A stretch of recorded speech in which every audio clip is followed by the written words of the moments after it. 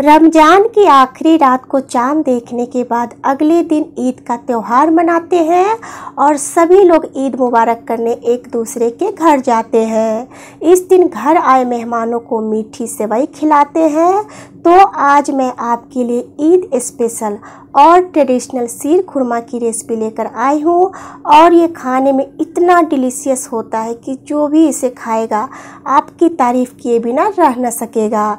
तो चलिए इस आसान सी मज़ेदार रेसिपी को बनाना शुरू करते हैं, क्योंकि ईद इसके बिना अधूरी मानी जाती है।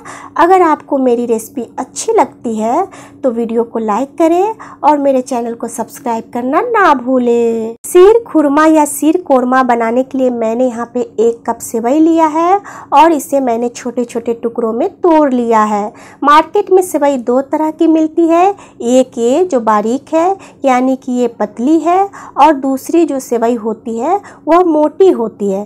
तो हमें इसे बनाने के लिए बारीक सेवई चाहिए और ये जो सेवैया है, वह कच्ची है। मार्केट में रोस्टेड सेवई भी मिलती है। और मैंने यहाँ पे दूसरी प्लेट में छह तरह के ड्राई फ्रूट्स यानी कि सूखे मेवे लिया है।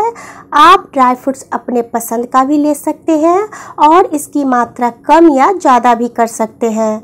आप ड्राई फ्रूट्स को पानी में भिंगाकर ओवरनाइट भी छोड़ सकते हैं और ये जब अच्छी तरह से भींग कर फूल जाए तो फिर इसका छिलका निकाल कर इसे बारीक काट लेंगे।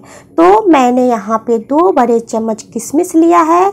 इसमें प्रोटीन, आयरन, कैल्शियम और विटामिन ई e जैसे पोषक तत्व होते हैं। बारीक कटे हुए दो बड़े चम्मच काजू, इसमें carbohydrate fibre protein calcium magnesium और आयरन जैसे पोषक तत्व होते हैं। बारीक कटे हुए दो बड़े चम्मच पिस्ता इसमें भरपूर मात्रा में vitamin C protein, iron, potassium, calcium और एंटीऑक्सीडेंट पाए जाते हैं। बारीक कटे हुए दो बड़े चम्मच बादाम, इसमें भरपूर मात्रा में vitamin E protein, fibre, magnesium, calcium और ओमेगा थ्री फैटी एसिड होता है। बारीक कटे हुए दो बड़े चम्मच अखरोट, इसमें calcium, vitamin E protein, fibre, magnesium, iron और ओमेगा थ्री फैटी एसिड होता है।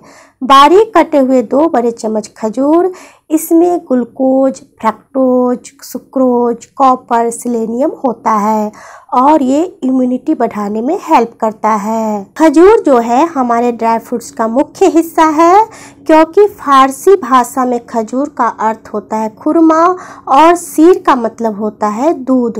तो इसे बनाने से पहले ये सारी तैयारी कर लेनी है। तो अब हम चलते हैं इसे बनाने के प्रोसेस में। तो सबसे पहले एक पतीले या बर्तन में एक लीटर लो फैट मिल्क डाल लेंगे और गैस ऑन करके इसे उबाल लेंगे। आप इसे बनाने के लिए फुल क्रीम मिल्क का भी यूज़ कर सकते हैं। तो दूध में उबाल आ गया है। इसे स्पेचुला से थोड़ा मिला देंगे और इसमें एक कप चीनी डाल देंगे। अब हम इसे दूध में अच्छी तरह से मिलाते हुए उबालेंगे। जब तक कि चीनी जो है, वह दूध में अच्छी तरह से डिजॉल्व ना हो जाए। तो दूध में चीनी जो है, वह अच्छी तरह से घुल गई है। तो अब हम गैस के फ्लेम को ऑफ़ कर देते हैं और इसे अलग रख देते हैं। तो मैंने यहाँ पे गैस ऑन करके एक कढ़ाई को गर्म होने के लिए रख दिया था और ये गर्म हो चुका है। तो अब हम इसमें तीन बड़े चम्मच घी डाल देंगे और इसे मेल्ट होने देंगे।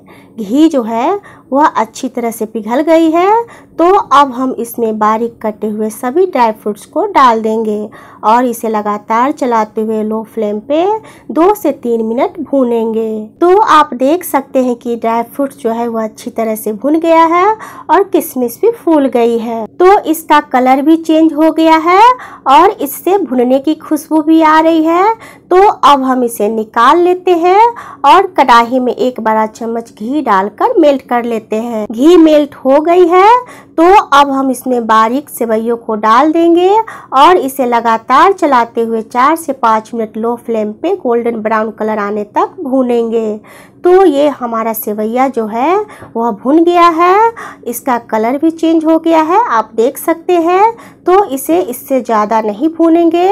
तो अब हम इसमें उबाला हुआ गर्मा गर्म दूध डाल देंगे और इसे डालते समय सावधानी रखें, क्योंकि दूध बहुत गर्म है, गैस का फ्लेम लो रखेंगे और इसे दूध में अच्छी तरह से मिक्स कर देंगे। तो अब हम इसमें भुने हुए ड्राई फ्रूट्स डाल देंगे और इसे दूध में अच्छी तरह से मिला देंगे। अब हम इसे पाँच से सात मिनट लो फ्लेम पे पकने देंगे। इसमें एक छोटा चम्मच इलायची पाउडर डाल देंगे और इसे सभी के साथ मिक्स कर देंगे।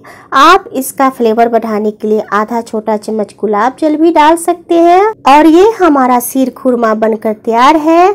आप इसकी टेक्सचर को देख सकते हैं। ये न ज़्यादा पतली है और न ज़्यादा गाढ़ी है।